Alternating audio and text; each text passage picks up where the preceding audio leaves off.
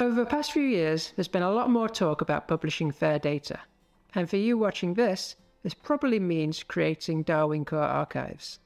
For most people, this is a new thing, and it's not always easy. And for most people, it's not always obvious what the requirements are. Which Darwin Core terms should you be using as column headers? And which core and extensions should you be including in your Darwin Core archive? Wouldn't it be easier if you had all the requirements written down in one place? That's why I've developed a new spreadsheet template generator, which will make it a lot easier for you to create Darwin Core archives. It will tell you which Darwin Core terms are required and recommended for different cores and extensions. The template that you create will include cell restrictions, so you won't be able to include text, for example, in cells where you're expected to include a number. You will end up with a standardized log of your data, which will make it much easier to prepare your data for publication. In this video, I'll show you exactly how this template generator works and how easy it can be to create a Darwin Core archive if you're using this template generator. To access the template generator, you can type SIOS Svalbard into your favourite search engine. Click on this link, most likely at the top, and in the nav bar at the top of the website, go to Data and to Tools. Here you can see a button for the Learnings from Nansen Legacy template generator. Or you can just follow the link in the description. When you get to this page, you can see that there are three configurations, CF-NetCDF, Darwin Core, and a Learnings from Nansen Legacy logging system, which should mostly only be used for a logging system that I'm currently developing, so watch this space. But in this video, I'm only going to focus on the Darwin Core configuration. If you select this, there are then different sub-configurations that you can also select, based on what the core of your Darwin Core archive should be. In this case, I'm going to include an event core, so I'll select sampling event. Each section of the form below then represents one core or extension that will be included as a separate sheet in your template. You can add additional extensions using the buttons at the top, and you can just as easily remove them again.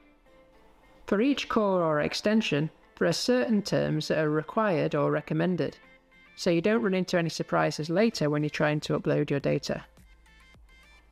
Each field is a Darwin core term taken from a source file referenced above. You can read the descriptions for each term by hovering over it with your cursor. And you can select all the terms that you want to include in your template. There are also additional terms that you can add using the buttons on the right. Note that these are not Darwin Core terms that you can include as columns in your final Darwin Core archive. However, in some cases, it's useful to be able to record additional information in your templates. You can choose to either exclude these columns later, or you might find a way of mapping them to terms that are accepted in a Darwin Core archive. Finally, we can generate our template. One sheet has been created for each core and extension. The descriptions are visible as notes each time you select a cell. And there are cell restrictions, so for example, you can't insert text for a term where only numbers should be allowed. Once you've filled in your template with your data, it is easy to create and publish a Darwin Core archive. Firstly, I prefer to save each sheet as an individual CSV file. So I'm going to unhide this row here, and I will delete all the rows above it. So we have a simple, unformatted table. Then I will save this sheet as a CSV file. Then I'll do the same for all my other cores and extensions. To create a Darwin Core archive from this, you need to use GBIF's Integrated Publishing Toolkit. I've put a link to this page in the description which shows you all the places that the Integrated Publishing Toolkit is installed. So most likely you're going to want to contact one of these places and get them to set you an account up on their node. You don't need to install the integrated publishing toolkit yourself. Once you have an account, you can create a resource. I'm creating a Darwin Core archive with an event core, so I'll select this one.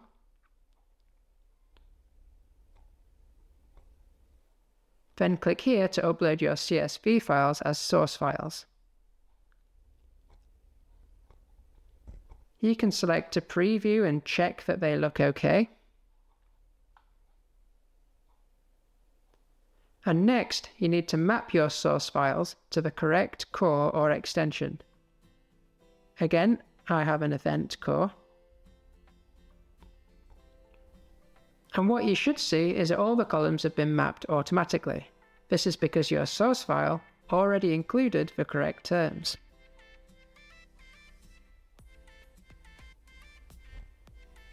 You can do the same for any of your extensions.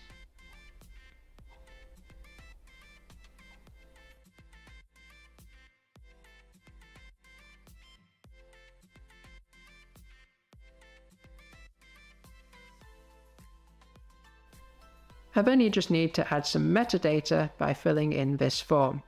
I'm not going to go through all of this now.